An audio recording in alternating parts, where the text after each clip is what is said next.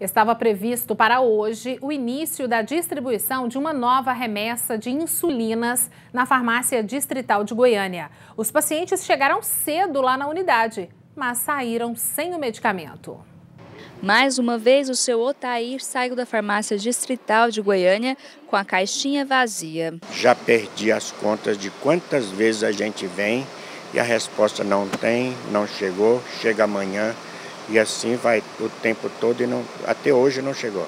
Ele e muitas outras pessoas que vieram na farmácia esta manhã em busca de insulina receberam a mesma resposta. Desde março, diabéticos sofrem com a falta do medicamento.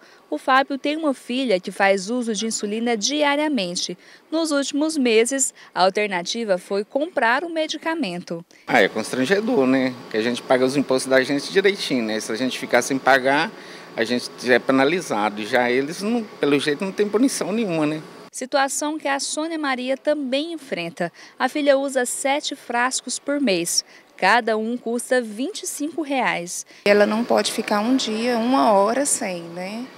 Então fica muito difícil. Eu compro insulina na farmácia, vem lá debitado imposto também o tempo todo pagando imposto e a gente não tem esse retorno.